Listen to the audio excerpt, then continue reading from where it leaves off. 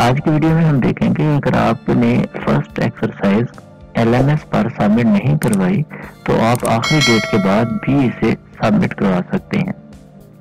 डिजी skills आपको एक दिन एक्स्ट्रा देता है, जिसमें आपने अपनी एक्सरसाइज को आप सबमिट करवा सकते हैं।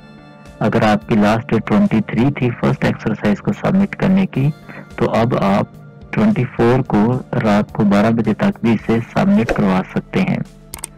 इसके लिए हम सबसे पहले आपको प्रूफ दिखाते हैं कि आपने यहाँ पर साइन इन होके L M S dot D G skills dot P K पर अपना यूज़र नेम और पासवर्ड पुट करके साइन इन हो गए।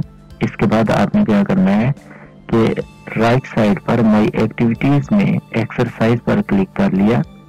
यहाँ से हम देखें तो हमारे पास ये सेकंड वाली एक्सरसाइज अभी तक हमने सबमिट नहीं करवाई, जबकि फ्रीलांसिंग वाली हमने सबमिट करवा दी है। यहाँ से हम क्या करेंगे?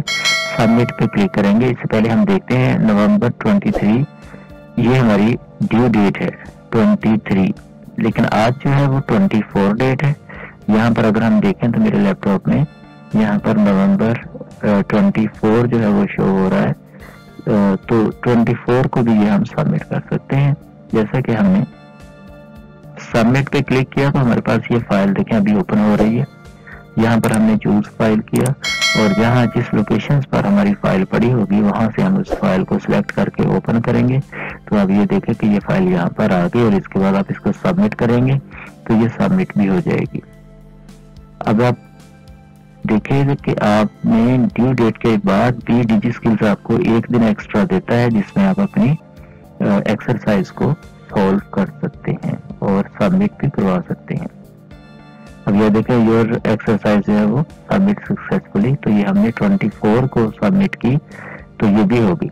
अब इसके बाद जो है वो, अगर हम देखें तो अगर फिर भी आप अपनी एक्सरसाइज को सबमिट नहीं करवा सके तो जिस वक्त आपका कोर्स कंप्लीट होगा कोर्स कंप्लीट होने के बाद भी आपको पाँच से छह दिन दिए जाते हैं कि आप अपनी एक्सरसाइज और क्विज जो रहते होंगे, उनको आप सॉल्व कर सकते हैं या सबमिट करवा सकते हैं कोई भी फ़ाइल को।